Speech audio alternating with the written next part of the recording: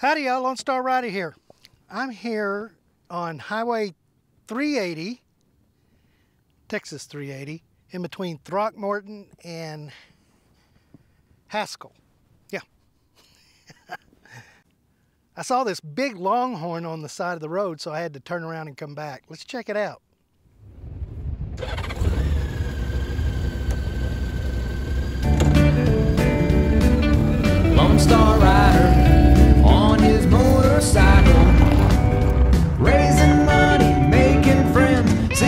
Country end to end. Lone Star Rider. And here it is. I have no idea where this came from. I'll do some research when I get to a point I can do that. But it looks like it's made out of metal and it's uh, it's shaped correctly and you see the big balls there and it's got the uh, H brand on the side of it. I'm not sure what that is. And it's all lined here with all these uh, wind turbines here that are moving slowly today. The wind's not blowing very hard. And there's a Texas 380.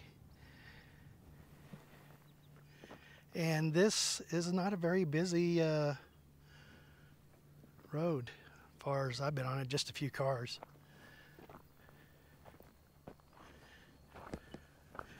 We'll walk over here on the other side and look at all the uh, wind turbines out there in the field there. That's pretty cool. Oh, got a car coming. And there, the shadow is casting on most of that there. Yep, I've got a couple of cars.